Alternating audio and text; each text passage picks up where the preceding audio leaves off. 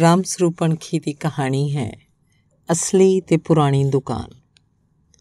ਉਸ ਸ਼ਹਿਰ 'ਚ ਮੇਰਾ ਦੋਸਤ 15 ਵਰਿਆਂ ਤੋਂ ਸੀ।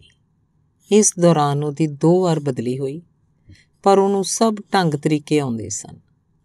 ਅਫਸਰਾਂ, ਕਲਰਕਾਂ ਨੂੰ ਜਾ ਕੇ ਮਿਲ ਲੈਂਦਾ ਤੇ ਉਹਦੀ ਬਦਲੀ ਰੱਦ ਹੋ ਜਾਂਦੀ।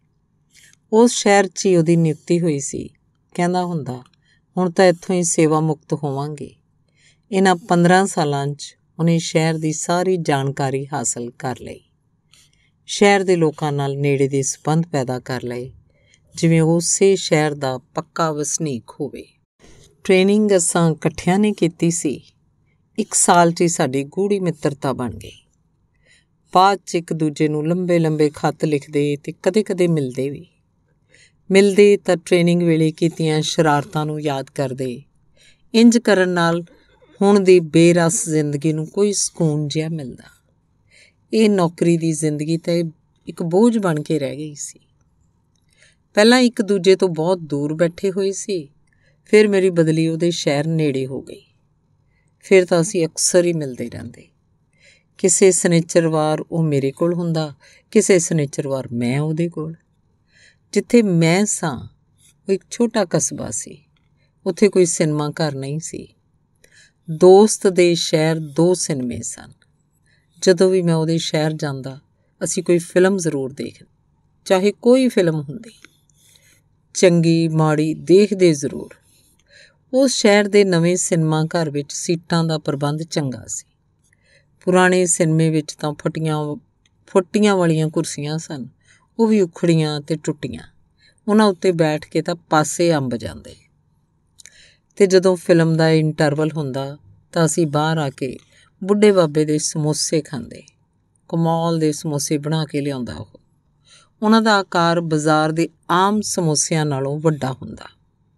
ਉਹਨਾਂ 'ਚ ਮਟਰ ਤੇ ਹਰਾ ਧਨੀਆ, ਫਿਰ ਅਮਚੂਰ ਪਤਾ ਨਹੀਂ ਕੀ ਕੁਝ ਪਾ ਕੇ ਲਿਆਉਂਦਾ ਉਹ। ਸਮੋਸਾ ਖਾਣ ਬਾਅਦ ਵੀ ਮੂੰਹ ਦੇ ਪਚਾਕੇ ਵੱਜਦੇ ਰਹਿੰਦੇ।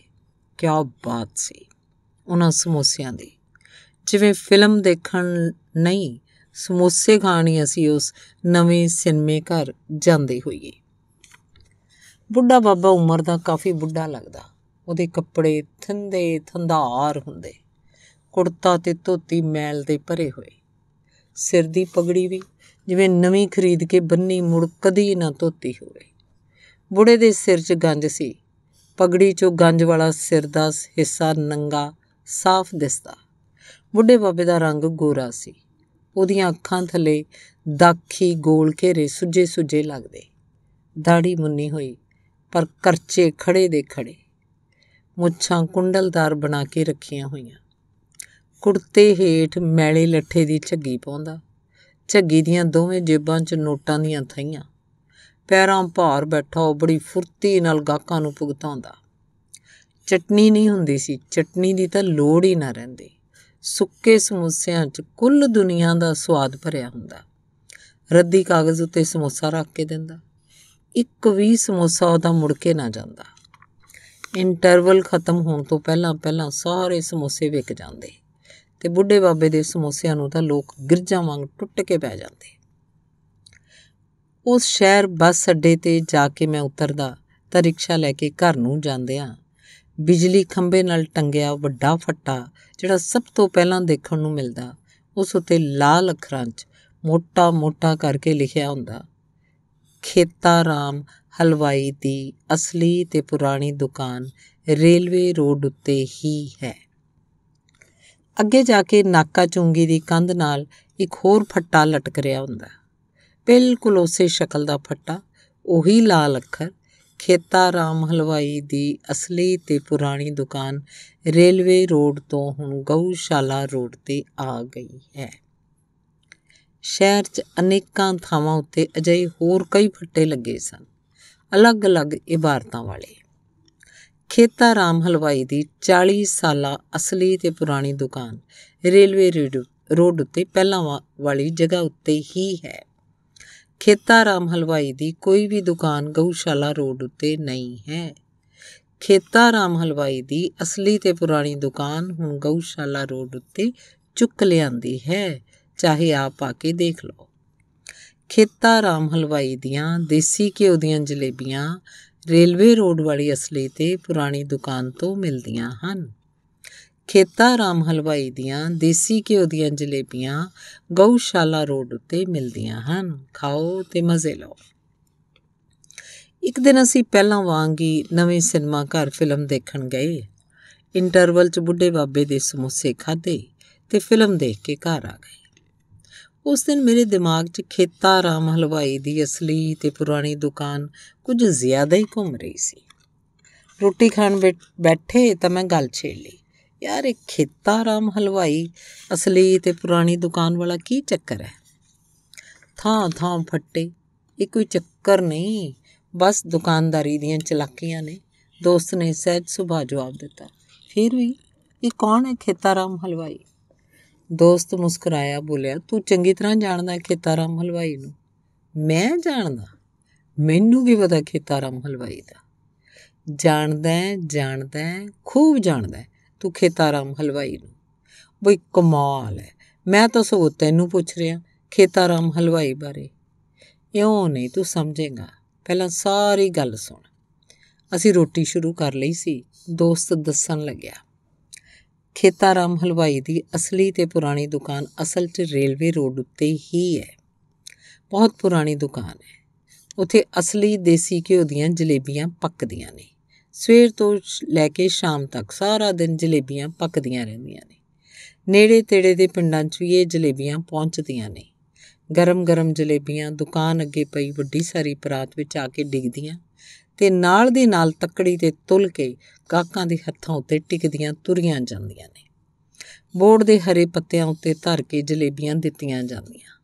100 ਗ੍ਰਾਮ 200 ਗ੍ਰਾਮ 250 ਗ੍ਰਾਮ, ਅੱਧਾ ਕਿਲੋ ਤੇ ਕਿਲੋ ਜਲੇਬੀਆਂ ਲਈ ਲਫਾਫਾ ਹੁੰਦਾ ਹੈ।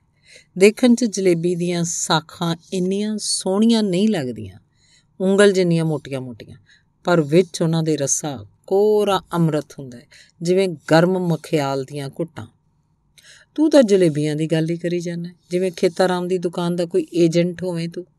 ਮੈਂ ਅਸਲੀ ਤੇ ਪੁਰਾਣੀ ਦੁਕਾਨ ਦੀ ਕਹਾਣੀ ਪੁੱਛੀ ਸੀ। ਮੈਂ ਟੋਕਿਆ।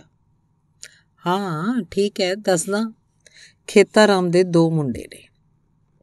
ਉਹ 10-10 ਜਮਾਤਾਂ ਪੜ੍ਹੇ ਤੇ ਪਿਓ ਦੀ ਦੁਕਾਨ ਤੇ ਹੀ ਬੈਠ ਗਏ। ਪੂਰੇ ਹਲਵਾਈ ਬਣ ਗਏ।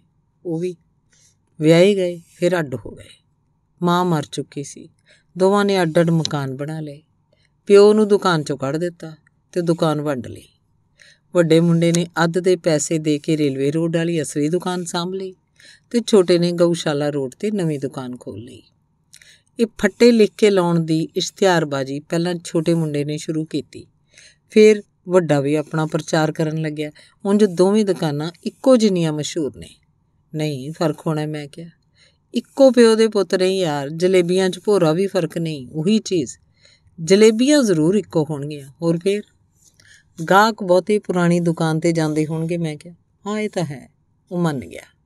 ਇਹਦਾ ਮਤਲਬ ਪਿਓ ਨੂੰ ਕੱਢ ਕੇ ਮੁੰਡੇ ਪਿਓ ਦੇ ਨਾਂ ਦੀ ਹੀ ਖੱਟੀ ਖਾ ਰਹੇ ਨੇ। ਹਾਂ, ਉਹਨਾਂ ਨੇ ਉਹਨੂੰ ਘਰੋਂ ਵੀ ਕੱਢ ਦਿੱਤਾ ਸੀ। ਪੁਰਾਣਾ ਘਰ ਮੁੰਡਿਆਂ ਦੀ ਮਾਂ ਦੇ ਨਾਂ ਸੀ। ਮਾਂ ਮਰੀ ਤਾਂ ਮਕਾਨ ਮੁੰਡਿਆਂ ਦੇ ਨਾਂ ਹੋ ਗਿਆ। ਬੁੜਾ ਗੈਟ ਆਊਟ ਹੁਣ ਫੇਰ ਬੁੜਾ? ਮੈਂ ਖੇਤਾਰਾਮ ਬਾਰੇ ਤਰਸ ਦੀ ਭਾਵਨਾ ਨਾਲ ਸੋਚਣ ਲੱਗਿਆ। ਤੂੰ ਜਾਣਦਾ ਹੈ ਖੇਤਾਰਾਮ ਨੂੰ, ਤੂੰ ਉਹਨੂੰ ਦੇਖਿਆ ਹੋਇਆ ਦੋਸਤ ਨੇ ਮੇਰਾ ਦਿਮਾਗ ਚਕਰਾਉਣਾ ਚਾਹਿਆ। ਕਿਉਂ ਬਕਵਾਸ ਮਾਰਦਾ ਹੁੰਨਾ ਯਾਰ? ਸ਼ਰਤ ਲਾ ਫਿਰ। ਤੂੰ ਮੰਨ ਜਾਣਾ ਉਹਨੇ ਮੇਰੇ ਹੱਥ ਤੇ ਹੱਥ ਮਾਰਿਆ। ਹਾਂ, ਚੱਲ ਰਹੀ ਫਿਰ। ਮੈਂ ਵੀ ਦ੍ਰਿੜ ਸੀ। ਉਹ ਹੱਸਣ ਲੱਗਿਆ। ਰੋਟੀ ਖਾ ਕੇ ਅਸੀਂ ਹੱਥ ਧੋਣ ਉੱਠੇ। ਦੋਸਤ ਗੰਭੀਰ ਹੋ ਕੇ ਦੱਸ ਰਿਹਾ ਸੀ, ਹੁਣ ਖੇਤਾਰਾਮ ਵਿਚਾਰਾ, ਕਿਰਾਏ ਦੀ ਇੱਕ ਨਿੱਕੀ ਜੀ ਕੋਠੜੀ 'ਚ ਰਹਿੰਦਾ ਹੈ। ਉਹ ਹਨੇਰ ਕੋਠੜੀ, ਉਹਦਾ ਸੰਸਾਰ ਹੈ ਹੁਣ ਬਸ। ਤਾਂ ਇਹ ਐਵੇਂ ਪਕਾਈ ਹੈ ਤੇਰੀ ਵੀ ਮੈਂ ਜਾਣਦਾ ਖੇਤਾਰਾਮ ਨੂੰ। ਮੈਂ ਉਹਦੇ ਵੱਲ ਅੱਖਾਂ ਚੌੜੀਆਂ ਕਰਕੇ ਝੁਕ ਗਿਆ। ਨਵੇਂ ਸਿਨੇਮਾ ਘਰ ਅੱਗੇ ਸਮੋਸੇ ਨਹੀਂ ਖਾਂਦੇ ਹੁੰਦੇ ਆਪਾਂ। ਉਸ ਬੁੱਢੇ ਬਾਬੇ ਤੋਂ ਬਸ ਉਹੀ ਹੈ ਖੇਤਾਰਾਮ ਹਲਵਾਈ। ਹੈਰਾਨੀ ਨਾਲ ਮੇਰੀਆਂ ਅੱਖਾਂ ਹੋਰ ਚੌੜੀਆਂ ਹੋ ਗਈਆਂ। ਦੋਸਤ ਚੁੱਪ ਸੀ। ਹੁਣ ਉਹਦੀ ਖਾਮੋਸ਼ੀ ਮੇਰੀ ਹੈਰਾਨੀ ਦਾ ਮਜ਼ਾਕ ਉਡਾ ਰਹੀ ਸੀ। ਧੰਨਵਾਦ।